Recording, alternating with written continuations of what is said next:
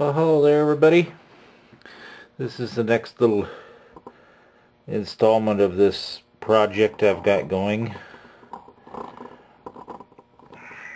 What I'm going to do is I've taken off my bolts and nuts and what I'm going to do now on this surface is cover it with fiberglass. Okay. And uh, the idea is here is to wrap this down around the two corners here these bolts and make that part of the insulating deal like these little washers do. And then I'll put the washers and nuts back on. And this, by doing this, will encapsulate this, seal my edges, and hold everything nice and true. Being fiberglass, it's uh, not going to conduct anything. It is impervious to anything. It's not going to break down under the acids in the equalizer.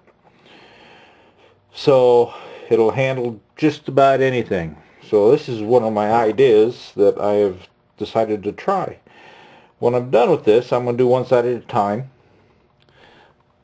Lay it on there, the glass and the resin, push it down in between the plates just a little bit, just to get it to seal.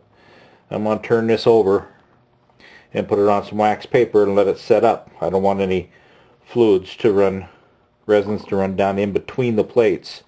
So it's just going to be damp enough with the resin. No excess, squeegee it off a little bit so it will stick and form. And then I'll wrap it down around the sides and uh, do everything that way. Then I'll wrap the whole thing, ends, drill my holes in between the plates for fluid to run down between them and out. This is the way it's going to be set up it's going to be on its side just like this so I have less distance for the gas to travel out of this brick. Trying to promote better production.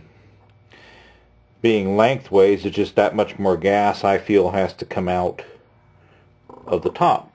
So turn on side less distance. Gives more time for that or less time for that gas to get out. It keeps the fluid on the plates. So this is just a quick idea. I'm going to do this off camera. I will, when I get done, I will film it. It just takes a little time to mix things up and get it all together and do this, and I don't want to be distracted. So I'm just kind of filling you in now. I will do this, get it laid up, get it set up, and then come back and show you what it, how it turned out. So uh, wish me luck. This will be interesting for me. It's uh, just an idea that I had.